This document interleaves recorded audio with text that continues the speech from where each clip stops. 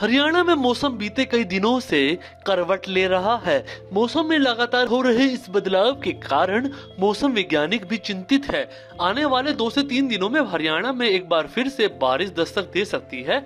हरियाणा में पाँच मार्च तक मौसम आमतौर पर परिवर्तनशील रहने की संभावना है। इस दौरान एक और पश्चिमी विक्षोभ के आशंकित प्रभाव राजस्थान के ऊपर बनने वाले एक साइक्लोनिक सर्कुलेशन से राज्य में उत्तरी पश्चिमी व दक्षिणी क्षेत्रों में दो मार्च रात व 3 मार्च को हवाओं व गरज चमक के साथ कहीं कहीं छिटपुट, बूंदाबांदी या हल्की बारिश होने की संभावना है। इसके बाद मौसम खुश्क व दिन के तापमान में हल्की बढ़ोतरी, लेकिन रात तापमान सामान्य के आसपास बने रहने की संभावना है। इससे पहले पंजाब के ऊपर साइक्लोनिक सर्कुलेशन से 25-26 को बारिश हुई थी।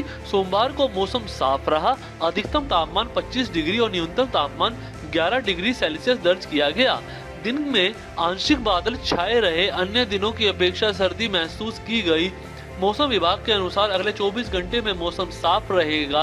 अधिकतम तापमान 25 डिग्री सेल्सियस और न्यूनतम 12 डिग्री सेल्सियस तक रह सकता है। Video desk, Amar Ujala dot com. अगर आप ये वीडियो YouTube पर देख रहे हैं तो हमारे चैनल को सब्सक्राइब करें और बेल आइकन को दबाना ना भूलें। अगर आप Facebook पर यह वीडियो देख रहे हैं तो हमारे पेज को लाइक करें।